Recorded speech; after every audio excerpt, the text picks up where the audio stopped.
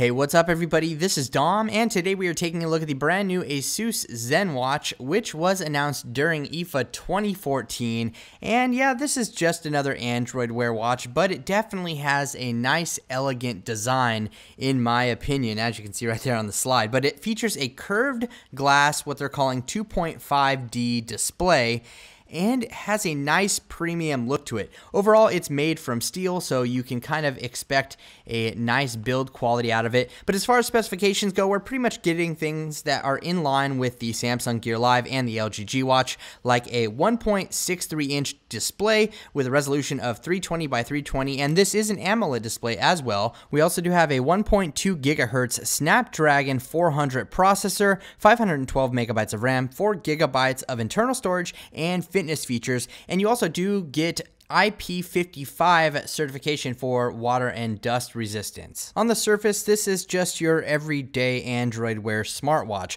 though it does have a very clean design in my opinion, and it's about the same thickness as the LG G watch, but it actually seems a bit thinner just because of the curved design. And that means a lot to me. That makes a big difference in how it rests on your wrist. On the backside, we do have charging points as you can see right here, so it'll just dock on a cradle of some sort. Uh, we haven't seen that at this point in time. And there are some pretty cool software features that we were unable to demo during the hands-on period, but they include being able to unlock your phone or tablet just by touching the watch face, and you can use it as a remote shutter for your smartphone camera, and you can also use it to find your device, or you can cover up the watch face when you have an incoming call in order to mute that call. So some pretty handy features. They will require a special app from Asus, but they will work with all Android Android devices. So that's definitely a plus side. But this is the Asus ZenWatch. I think it looks very classy. As you can see right here, that brown leather band looks nice